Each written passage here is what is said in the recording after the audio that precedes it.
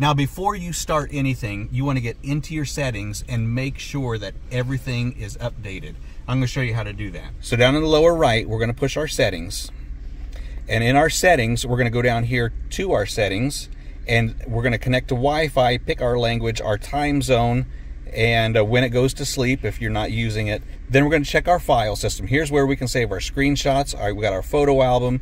We got our floating window. We can either have that on or off. If there is updates, it will give you uh, it will give you the updates that are available. So I got three vehicles that did not download yesterday. You can see I updated 178 files. Now that take a little bit of time, but it connects to Wi-Fi, downloads it, installs it. I had trouble with these three, but I don't have a Mercedes, a Proton, or a Toyota, so uh, I'm not too worried about those. If I went to, if I wanted to update this system, uh, not just vehicles, but the system itself and the software inside, I click the app and then if there was an update, I would have an update button. I have already updated that to the current version of 1.1.4. The MUCAR OBD code reader was sent to me at no charge for the purpose of this review. OBD is your onboard diagnostics tool, and what it's going to do is read your trouble codes, or when your check engine light is on, it's going to tell you uh, from your transmission to your engine what's going on inside. Now, this is one of the better OBD readers that I've had an opportunity to review, and uh, we're just now powering it on. I already have it plugged in. The first thing it's going to do is called a smog report. So it's going to check all of your components, your uh, your evap cooler, your uh, O2 sensors and things of that nature. It's going to do a test of 14. And uh, if you have those particular components, then it will read that as either a green light is good or is failing with a red light. So uh, once you get this on and going, uh, it's going to ask you to push your start button and then you can see it's doing the search on the smog and so we'll wait for that to come up and then I'll show you uh, a good number of these features that we have here. Now while that's doing the report you got two ways that you can use this. This is a touch screen, which is super nice, or you can use the buttons over here on the side and toggle through and use your OK buttons and your return button. Now, uh, this is also connected to Wi-Fi, so when you do have a trouble code that does come up, you can just click on it. It'll take you right to, to Google, do a Google search for you, explain what that code is, and how to fix it. I tell you what, I have not used a code reader like this before, and I think that this is super handy, and it's just about self-explanatory right out of the box. It's quick and easy to use. You're going to set it to your primary language. You're going to set the time, and then you're also going to want to go into it and uh, update any uh, any APK files that need to be updated or any other purchases that you have made uh, to get the very most out of this. So you can see here's my smog report. And uh, what it has done is has tested uh, seven components, and I got a couple of red flags here. So I can click on that, and it's going to tell me what we have checked, what's good and what's bad. So there's my CAT or my catalytic converter. There's my evaporator cooler, and I can click report on there if I want to. And what this is going to do is create a report that uh, is I can email it to myself and look it up on a larger computer.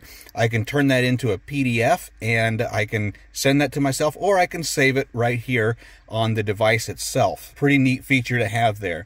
We go back to our home screen. Uh, we can scan by particular vehicle. We can look up the VIN number. It can also search your own VIN number. Uh, it's never been able to find mine. I have to punch it in by hand, so I'm not using that feature right now. The history is going to record all of the history that uh, is within the device that you have saved. So here's the primary way that many of us are going to use this. We're going to click our code and we're going to read codes. Select our vehicle, and I have a Kia. So now we are checking trouble codes to see if we have any any troubles or anything that is failing. Currently, I do not have a check engine light on, so it says there are no codes in the system. Actually, yesterday, I cleared my codes and uh, we do not have any saved codes either, so all is good with that. Uh, we will check another vehicle that does have a code just so I can show you what that looks like. Here's what's really neat. When we click our onboard monitor, it's going to check everything in your in your uh, in your engine in your transmission it's also going to give you the specs and what your values are so we can see here that we are uh, there's my uh, short-term fuel trim, long-term fuel trim, and it's checking bank one and bank two. It's checking your catalytic converter. It's checking your fuel rail. It's checking your fuel pressure. It's checking your intake manifold and your uh, your air intake. And so I'm going to go ahead and start this, and we're going to see these numbers change um, in in live time. Here's my live stream data. Now here we got everything changing in live time. There's my engine coolant temperature, 147 degrees. Air intake temperature, 125. There's my uh, there's my two banks of my O2 sensors. There's an oxygen sensor right there.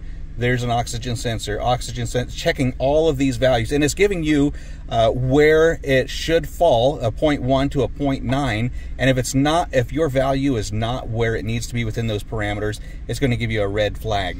Now, as you uh, as you accelerate, as you do different things, and as your engine warms up, these values are constantly going to be changing. Just because they're red, it doesn't necessarily mean that it's bad. Now, I'm going to accelerate,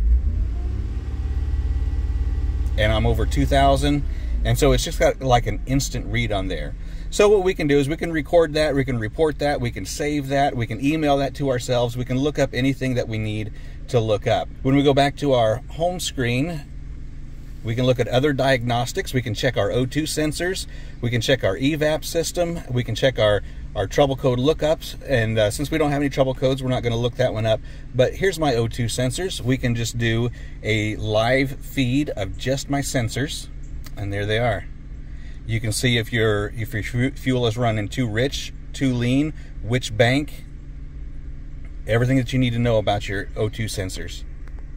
You're not going to find that on those those cheap OBD readers. Now, if I did have trouble codes that I had fixed and it was still in the memory, I can click erase and erase everything on there. Now, uh, one of the, the neat things, a couple of neat things here that we, we can do um, is that we can click this bubble right here, which is movable. We can click that bubble there and we can get a hold of customer service. We can send them an email and uh, or we can take a picture we can uh, send them a screenshot whatever we need to do to get the information that we need we can click our expand here and it's going to tell you your software and if you're up to date and, and what is available that you can purchase over here you've got the time you've got your your battery percentage and then it's also showing you what your uh, what your voltage coming out of your battery is, your car battery. Okay, so we're in our one-ton dually here. You can probably hear the exhaust, but my smog report has six green lights on it, so we're good to go there. What I want to do here is my code reader, see if we have any trouble codes that are showing up.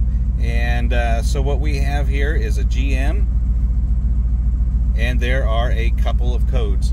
So my check engine light is on, and uh, what we have here is camshaft to crank sensor uh, crank position fault. Uh, and what that means is uh, my distributor cap is turned just a little bit, and so I expected codes to come up. But when these codes come up, we can click on the code, and it's going to take you right to Google. It's going to explain the code, and it's also going to tell you how to fix the code. So here we are on Google now. The P1345 code is a manufacturer specific OBD code that deals with the ignition problems as it is tied to the crankshaft or and camshaft position. So mine is, you know, you got your, your forward and you got your retarded, and uh, I got mine retarded just a little bit because I pull a heavy camper, and uh, and I've got that set the way that I, I want that by about one degree. But that's a neat little feature there. When we come back into uh, into all the other features of, of the uh, of the unit. What we can do is erase those codes because I am I'm certain my check engine light just went off. We'll read those codes read those codes again, see if they come up for some reason.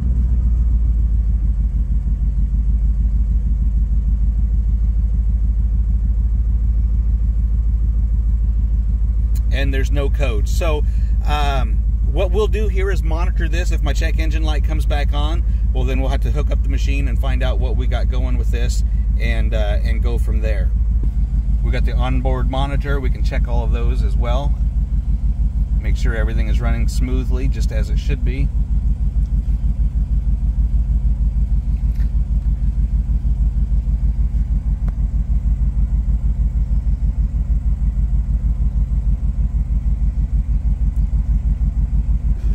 Okay, so these OBD readers, I, I mean, they're just a, they're a dream come true. I tell you, if you take these into a shop, it's going to cost you an arm and a leg to have them run a diagnostic test on your car.